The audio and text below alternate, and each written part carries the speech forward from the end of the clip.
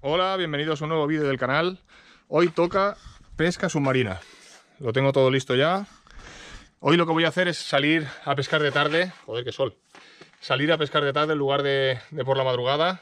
Intentar ver si en este horario se mueve algún tipo de depredador más por la zona en lugar de, por las mañanas, que no estoy teniendo mucha suerte.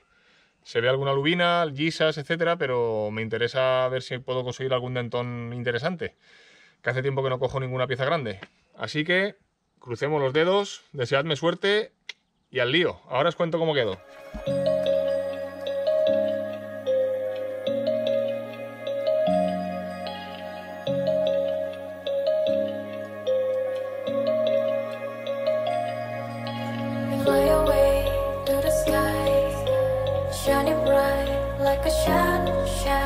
dreaming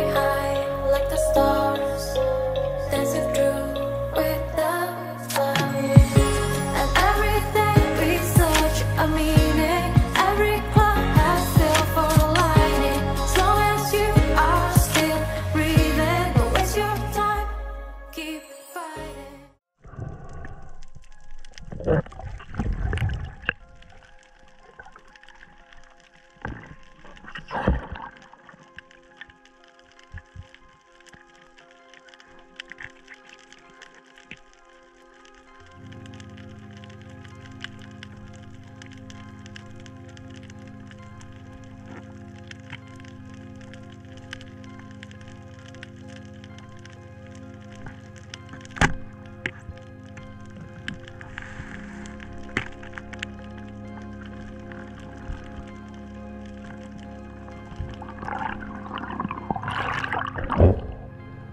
Bueno, primer disparo un pulpo. Bueno, eso. ¡Ah!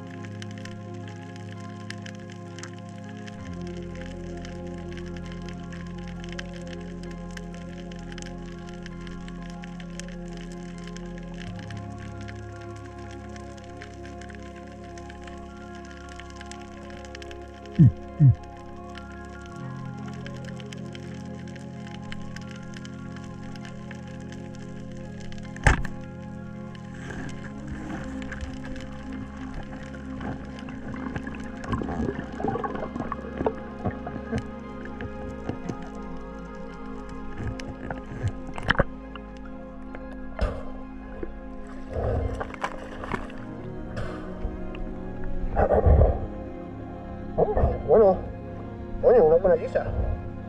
Joder, qué gorda. Venga.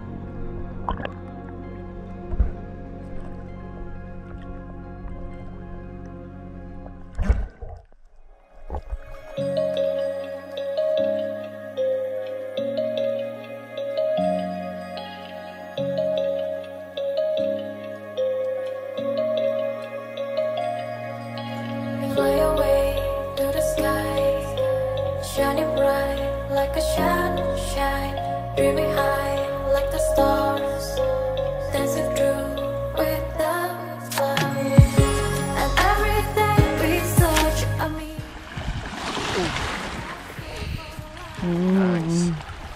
Vale, ya tenemos cenita. Al final, Gisa, ni dentón, ni mero, ni nada. Lástima que se han joreado las huevas. He disparado ahí en la cabeza y ha salido la varilla por ahí. Que si no, las hubiéramos secado. A la próxima, Cari.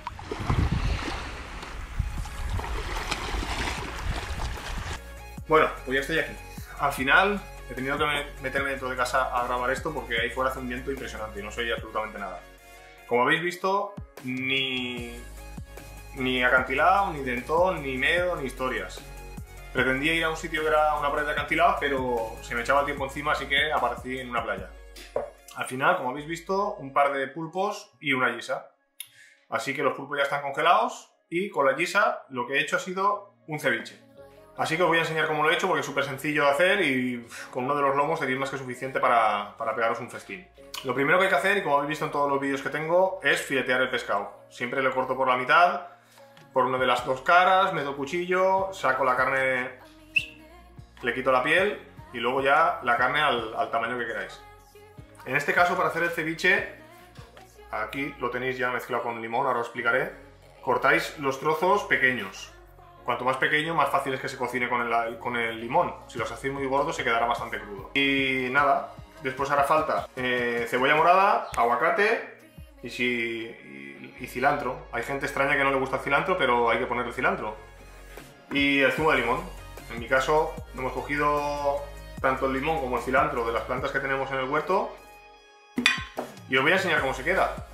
Básicamente lo que tenéis que hacer es, esto es el pescado que está cubierto de zumo de limón y lo tenéis que dejar por lo menos un día.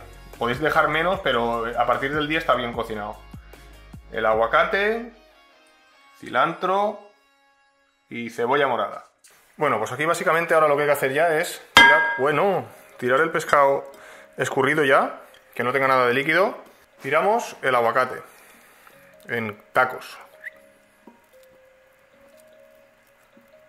Joder, qué pedazo de tacos, colega. Tiramos cebolla morada.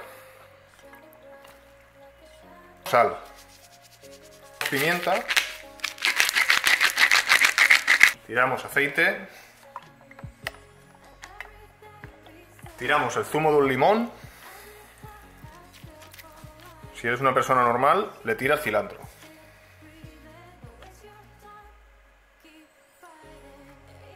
Bueno, pues espero que os haya gustado el vídeo y cómo hemos preparado el logo de la Gisa.